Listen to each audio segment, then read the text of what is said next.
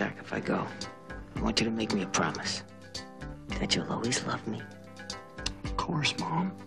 And you'll never get married. I need a commitment. I want to be married.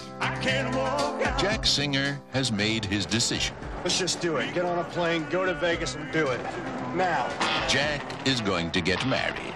You're serious? I must be. My legs are paralyzed. But a funny thing happened on the way to the wedding. Sorry, man. Straight flush to the Jack. To the Queen. Wise men say You owe Tommy Korman $65,000. only fools rush in. Eddie, do you have a solution? I do. I want your girlfriend for the weekend. You brought me to Las Vegas and you turned me into a hooker, Jack! I'll be a perfect gentleman. He's taking me to Hawaii. No!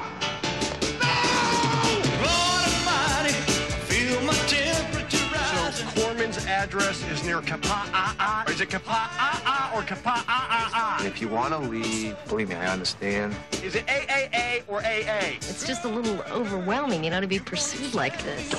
What about near where Don Ho or Jack Lord lives? That must be a pretty good neighborhood. Boy, the women, when they come here, oh, they get crazy. They're like freaky, freaky all night long. No one ever was as crazy about you as I am.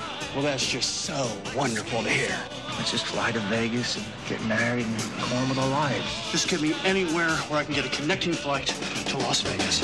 Las Vegas, anybody! Oh, come on, hop aboard. We're the blind elves of Utah, Captain. Bless my soul. The king may be dead, but Jack Singer's not far behind. Listen, if you could just drop me. Oh, yeah, yeah, we'll sure drop you. Honeymoon in Vegas.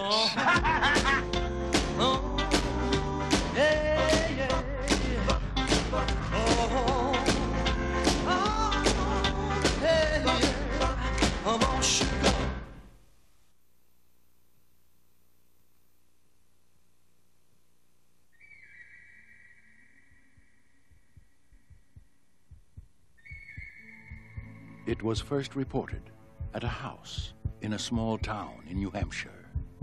It was horrible. So needless to say, I was doing all sorts of exorcisms. The only problem with my house was the name of my house. It just happened to be called the Bates House. In New York City, they were shocked by it. I have never wanted to disappear from a place more in my life. I was I was barking. I was barking in front of the Museum of Modern Art. In Moscow, the Russians caught wind of it. The first thing that I discover was no vodka. Evidently, prohibition was on, yet the word was never spoken. You never hear anyone say, When will the vodka come again? Down under, they were frightened by it. So he gets back to his hotel, and it begins to rise up again.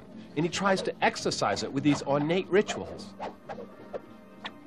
In Nicaragua, it made people paranoid. Let's get out of here before what happened to them happens to us. In Los Angeles, they were ready to cut a deal for the story.